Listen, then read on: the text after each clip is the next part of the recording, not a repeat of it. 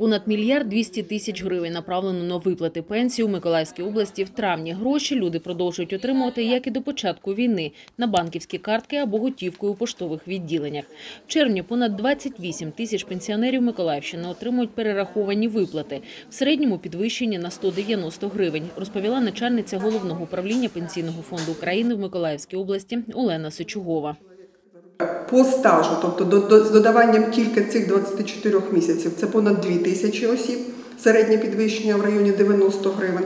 І е, понад 26 тисяч одержувачів перерахунок проведений як по стажу, так і по заробітку. Тобто до того заробітку, який е, враховувався при обчисленні пенсії або при минулому перерахунку, додано ще ці 24 місяці заробітної плати. І це призвело до збільшення коефіцієнту заробітної плати і відповідно до збільшення розміру пенсії. Таких, як я сказала, понад 26 тисяч, середній розмір підвищення е, 190 гривень.